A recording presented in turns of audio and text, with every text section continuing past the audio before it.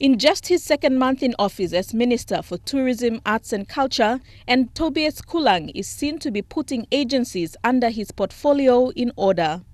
The issue of the position of the Executive Director of the National Cultural Commission has been ongoing until today's announcement of the acting appointment of Casper Damien.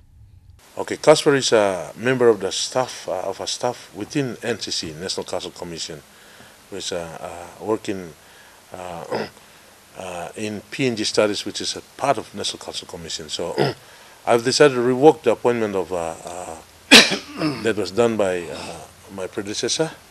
The appointment of Colin Timebari by former Minister Justin Tkatchenko was revoked.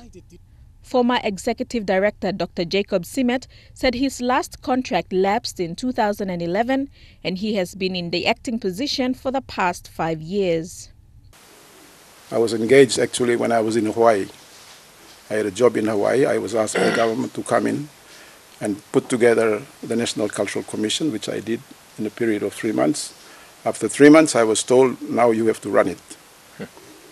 and after you run it, you go back to Hawaii. But I never did. so I've been running it for the last 23 years.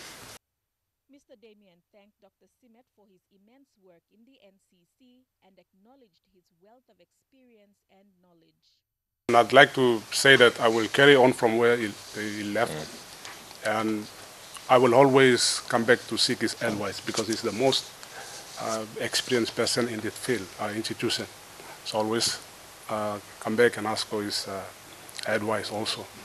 And thank you, Minister, for the announcement and your trust in, in, in me for uh, taking over this institution. And I will uh, serve this institution to the best of my ability.